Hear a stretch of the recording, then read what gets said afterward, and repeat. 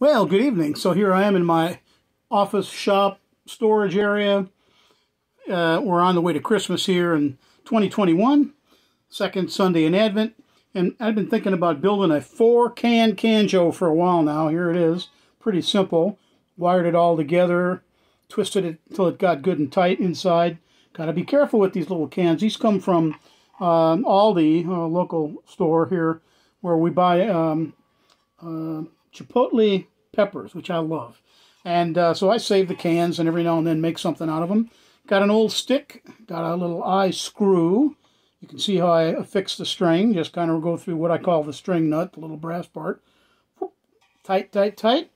And, uh, ooh, deluxe tuner, huh? Look at that. So it's very straightforward, very simple. This is a 16 uh, uh, plain guitar string, uh, which would be a B, probably a B string. Um, I'm using a real pick because I seem to get a little little more volume out of this. There's not a whole lot of volume going to come out of this. Um, you know, put a couple of screws in the bottom on the on the two uh, where the, the neck goes. And really, I could could have blown you out and put a... I've got a stick-on pickup that's a killer piezo pickup. I could plugged it into my little percolator amp and cranked it, but whatever. I decided just do it acoustic tonight. And here's a little piece of brass. Sometimes I put it on my pinky, sometimes on the ring finger. So, yeah, coming up on Christmas.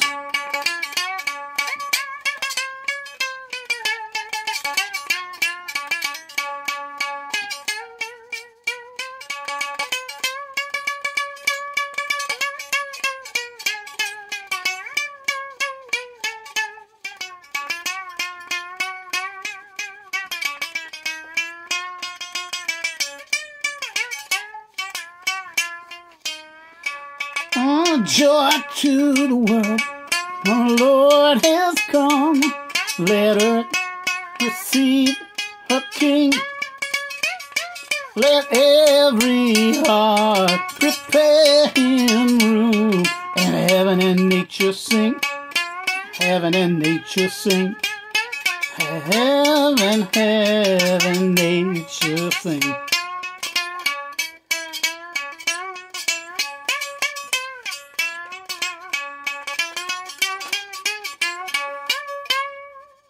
Yeah, you can put it, put it in your lap.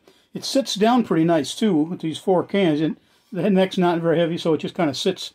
And uh, as you can tell, I don't even have a string on it, anything for a strap. Very short little guy.